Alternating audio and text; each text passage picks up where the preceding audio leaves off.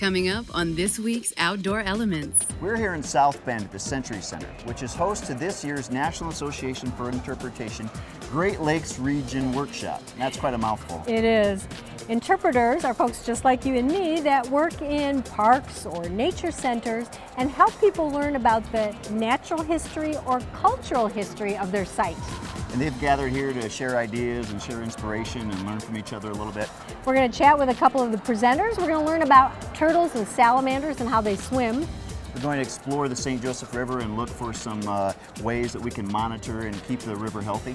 But first, we'll learn all about those wonderful summer insects that we call fireflies. Outdoor Elements is presented in partnership with the St. Joseph County Parks Department, Cardinal Native Plant Nursery, the Indiana Department of Natural Resources, and the Indiana State Parks.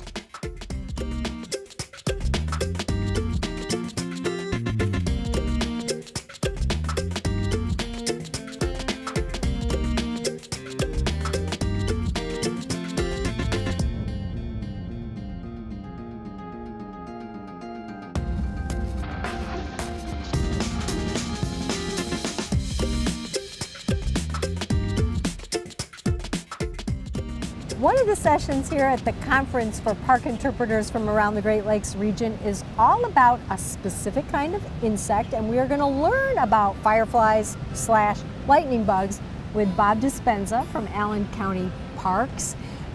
Lightning bugs, fireflies, are they the same? The, that's a common term for them that most people use, and we try and get them to be a little uh, more anatomically correct by calling them lightning beetles. Lightning because beetles. They are actually beetles. Flies are something else. Bugs are something else.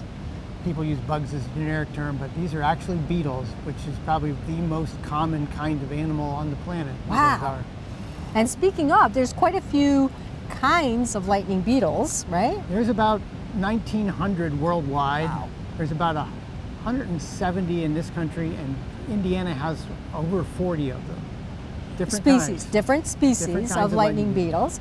And one in particular is very famous in Indiana. What's that? That's the Say's firefly, named after the great naturalist Thomas Say. It is the state insect of Indiana now. Yay! And that just happened like in Just 2017 or 2018 or so. Yeah, so that's very exciting. Beetles have um, hard wing covers, right? Yes, they can crawl into small spaces and not damage their wings. because of that hard cover. What people know about lightning beetles or fireflies is they light up, but they don't all light up, do they? There's a few kinds that don't light up at all. There's a few kinds that when they first emerge, they can put a little bit of light out and then they stop being able to. But that's the minority. Most of them have some kind of light emitting organ somewhere and they use it for very specific purposes. And we're going to talk about that because you have some great images about what we refer to as their flash patterns, right? So what is a flash pattern? Flash pattern is how they communicate with each other. They don't use sounds like some insects do, um, and they're out at night where bright colors aren't going to help much, but they use that the light emitting organ to flash to each other and communicate that way, and it's mainly for a way for males and females to find each other. And do they individually have different patterns or by species or how does that work? There is some regional there's regional dialects to them. There are some So that have a little bit of different pattern, even though they're the same species if they're from a different part of the country. Okay. But most of them are very specific to their species, and there's a certain pattern. That's a, there's a certain length of flash and a certain number of flashes, and then there's a certain time period in between when the male flashes and the female returns the flash. It's really So complex, It is, actually. and, and they have it timed very closely, so they, and, they know. And why do they? So why? I know you said it's for you know males and females, but why would they have different pattern? Why would they have different patterns? A lot of that is species differentiation. They don't Okay. waste their time trying to pursue a species which is not the same as theirs. They, they wouldn't be compatible to mate with. Okay. Correct. So you and I have a couple of flashlights, and this is something that literally families can do outside at night. It's kind of fun. We sometimes we do this with our day campers on an overnight.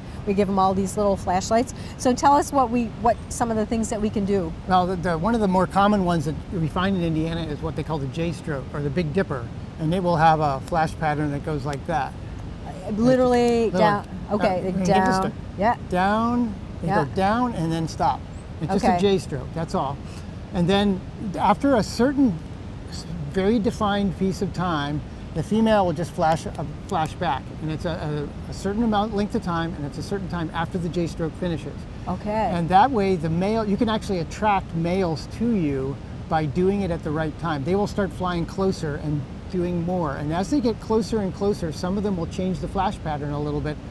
Uh, it'll be shorter, or uh, they, More they have very- yeah, they do. They, they kind of say, "I'm zeroing in on this," and it's very important that they find a female because for most lightning beetle species, the males outnumber the females 50 to one. oh my gosh. And so the first Wow. one there who gets to the female gets the Opportunity. and the rest are just flashing out in the field, not accomplishing anything in particular except, you know, us seeing them. And that's good too. Which is nice because it's all about the summer evening. I want to try this. So the males do the J and the the female females will responds. just a flash back. Okay, I'm going to be the female. You be the male. So I, Okay, me I, I, okay. So J, and then literally I just flash once Yep, like that. like that. Okay. That would bring the, the males closer. It has to be Awesome. And we have a, a graphic that shows how long the male's flash is, and then how long you wait, and then how long the female's flash is. So you can really You time imitate. it really well. And the closer you are to that timing, the more the males are interested. So if you did, you literally you could do this with a flashlight, and the fireflies might come Yes, closer yes, at night, which would. is really fun.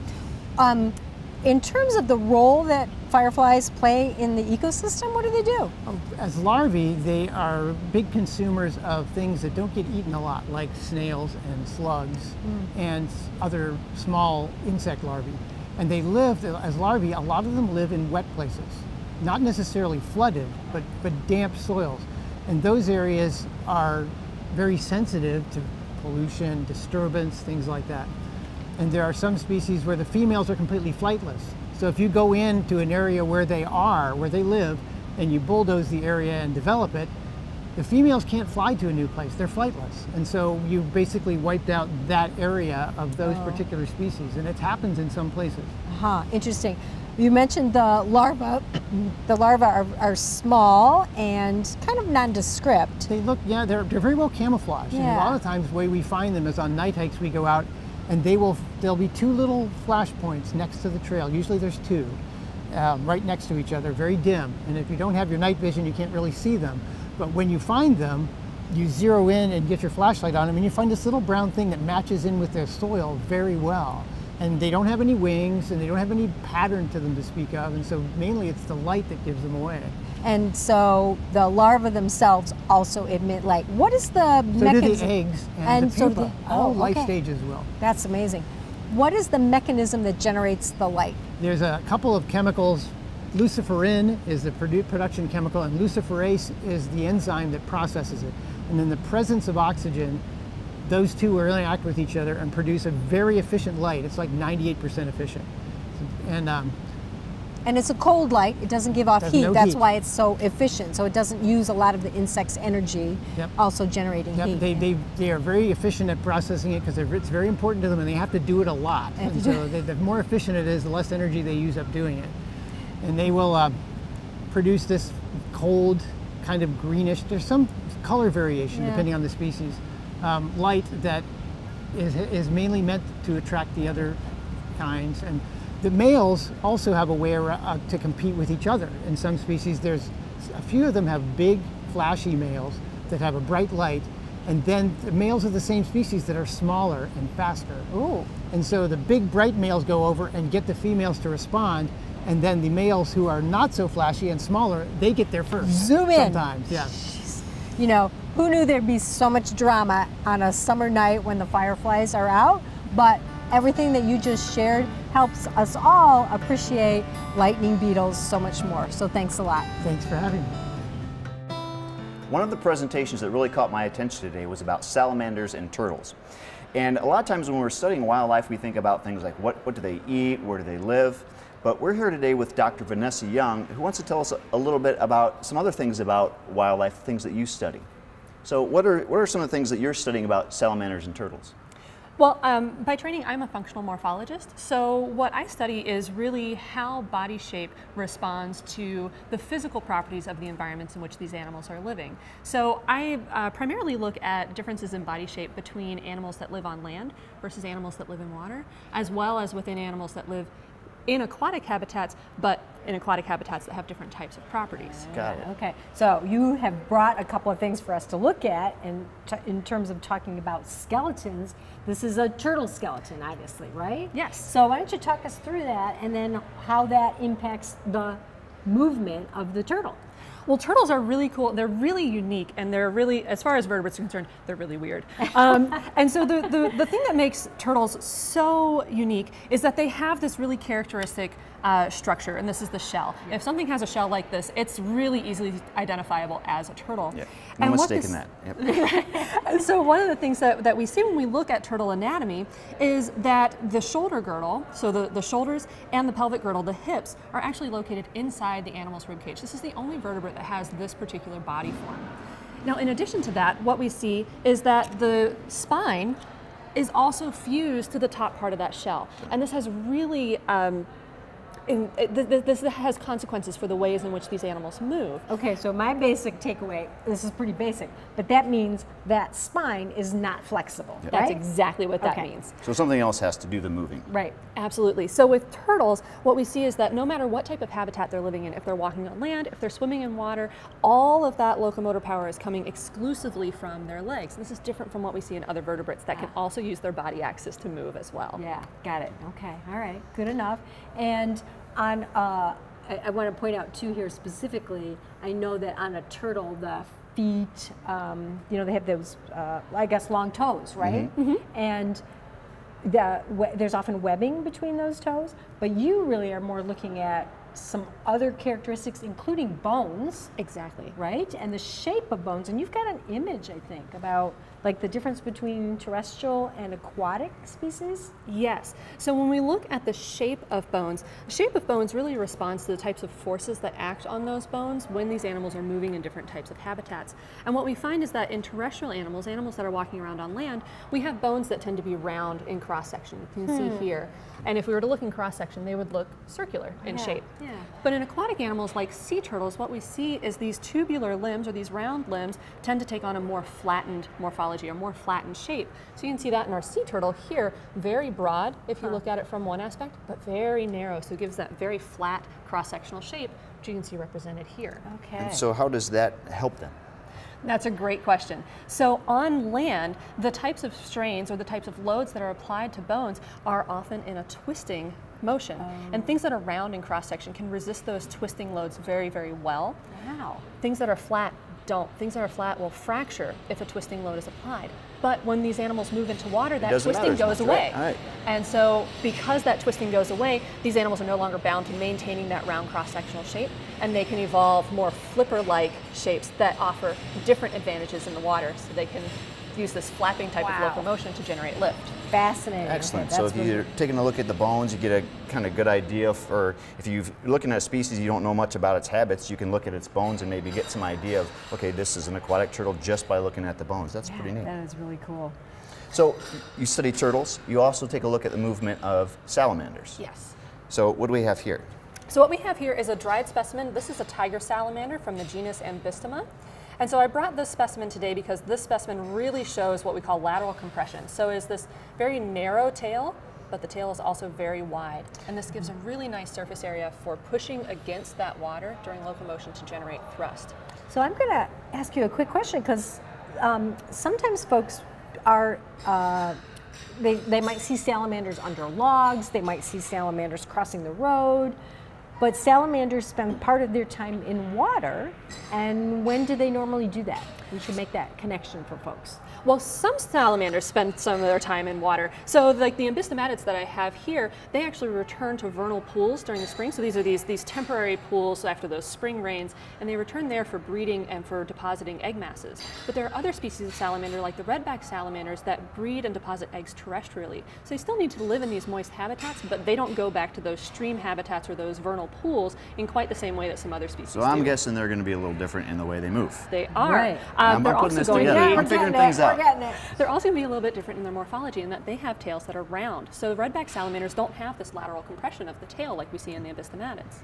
Okay, that's great. So if we look, if we see a salamander and it has a flattened tail, then likely it spends some of its life cycle in the water? Well, that was the idea. And so I have a student at St. Mary's. Her name is Ellen Johnson, and she did her senior thesis actually looking at this exact question. Uh, so she did her summer work uh, this past year up at the uh, University of Notre Dame Environmental Research Center, UNDERC, in the UP. And what she was doing was she was looking at the tails and the swimming performance of blue spotted salamanders, which belong to the same genus as our tiger salamander here. And she was comparing those to the redback salamanders that have that round cross sectional shape of the tail. Okay. How, how do you study such a thing? How do you look at that closely? You're not swimming around in a pond with a bunch of salamanders looking at the tail, so how do you go about looking at such a thing? So what we do is we collect animals from the field and we take digital photos of them and then we digitally measure their tail morphology or components of their tail morphology. So we measure the length, so the length of the tail from the cloaca to the tip of the tail. We should say what the cloaca is Ah, at, yes, right? it's the vent right here. So this Yep. is the single opening through which uh, reproductive and excretory waste exits the body. So we measure from, from the cloaca, it's also called the vent, to the tip of the tail to get tail length.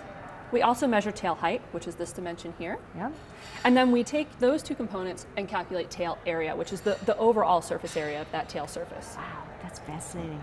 It's amazing, like, it's not the kind of things that I think of as a Yeah. naturalist, right? I think about where, where do they eat, where do they live, how do they get around. But it reveals a lot when you find tiger salamanders like this, and they kind of chunky. I always think of them like tiger salamanders, like Jabba the Hutt. It makes, it makes sense that they would be that they would be different now when you think about it in these terms. Right, that's great, fascinating.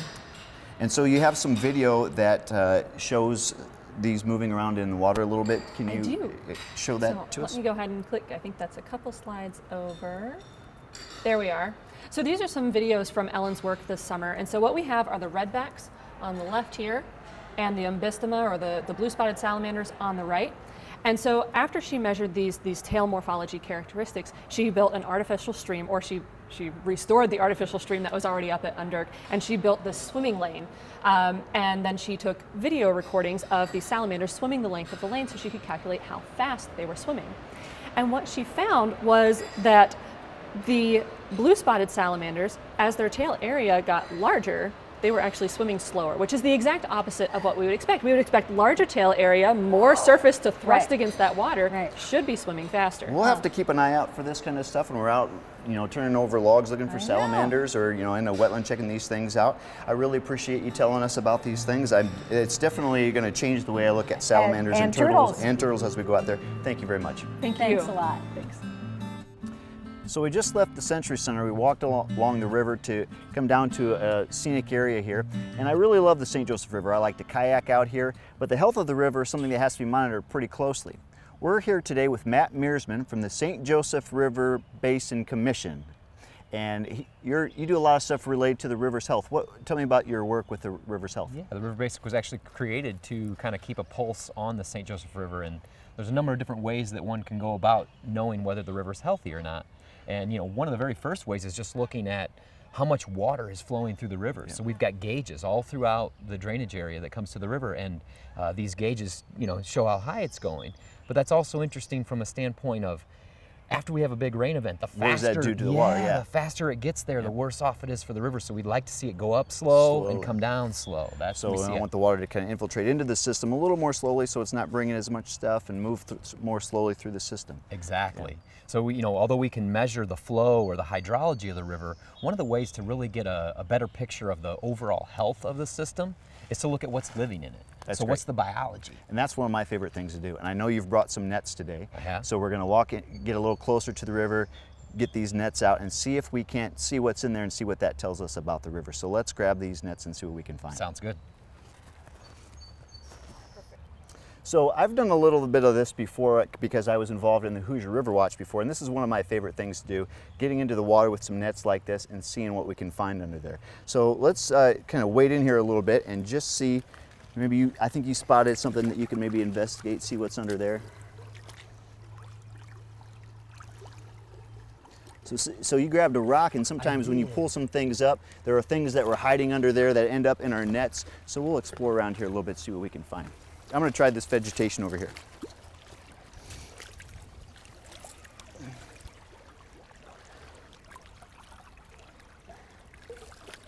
So I've got a scud. All right. So there's a little freshwater shrimp. Let's see if I can get them out where we can take a better look at them. Is that what that is? Scud? Looks like it. Now, one of the things I've heard is that it's based on, you know, how tolerant these things are of pollution. So if we find one that's fairly intolerant of pollution, That's a good sign. It's a good sign. Yeah, so if we only find things that can handle lots of pollution, that's, eh, that's not such a good Right. thing.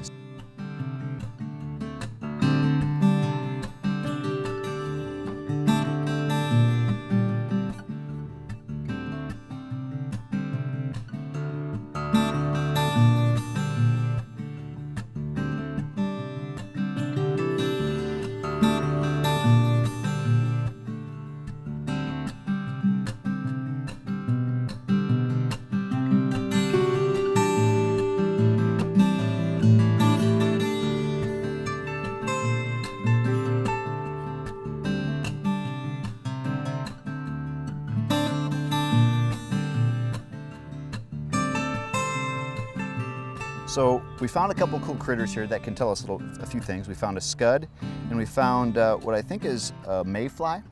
So what does that tell us about the water quality? Yeah, well, what we find is that the scuds are moderately tolerant to pollution. Okay. So, you know, you might find them in a stream like the St. Joe, but you're not going to find them in something that's really heavily polluted where there's no habitat left. Got so it. it's a fairly good sign. So that tells us this is not super polluted, or they wouldn't be here. exactly. And then the other one that Yeah, what we find on the other one is that that's uh, mayfly nymph is what it looks like, which is even cooler because it says it's intolerant to pollution. So what we that that really should be your cleaner, you're not going to find many of those in a, a polluted stream, Exactly.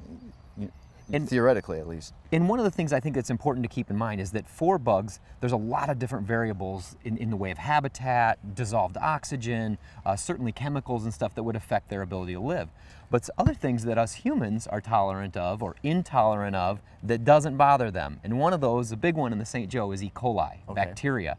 Uh, the bugs don't seem to mind the E. coli. So they don't necessarily tell us as much about that. So we have some other ways to testing those things, and you brought some equipment that that uh, is used sometimes to monitor those things. Exactly. So what can you show us with this equipment Sure. that you brought well, here? you know, I mentioned I mentioned E. coli, and uh, I don't have an. Uh, what we do is we would take a sample and we would take that to our partners at the local wastewater treatment plant, and they would actually run a lab analysis on that. But there is some kind of cool things we can do in the field.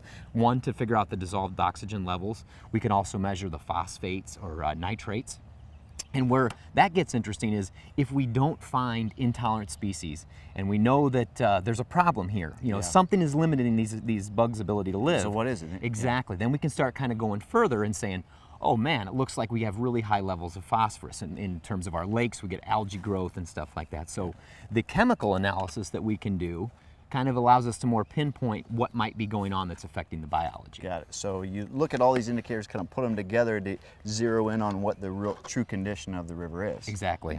Yeah. So there's a number of different things that we would do, all involve sort of, you know, getting a sample, adding a reagent or reactive agent to it, and then sort of seeing where it stacks up on the spectrum. You know, this is dissolved oxygen, which is pretty straightforward. All living things Yeah, need yeah, dissolved oxygen oxygen. Exactly.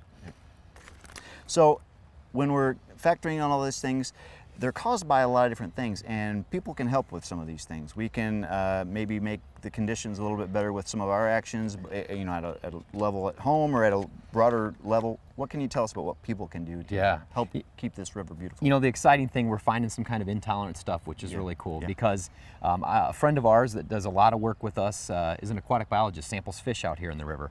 He's done a lot of research historically.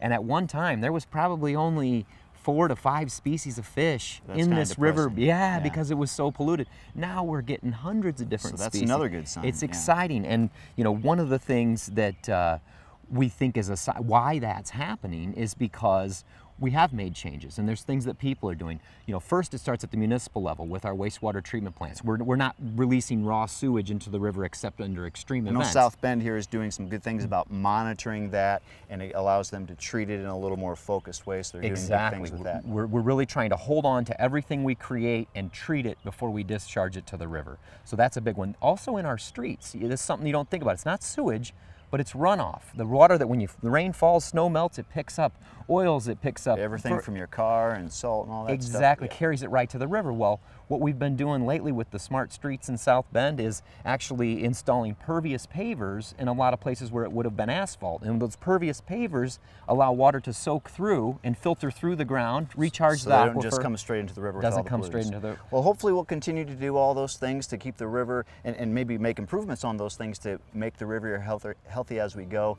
I enjoy kayaking. I hope I get to enjoy it for a long time to come. I appreciate the work that you're doing. Thanks, man. Thanks, Vince. It's been great being here at the conference to visit with park interpreters from Indiana, Michigan, and Ohio.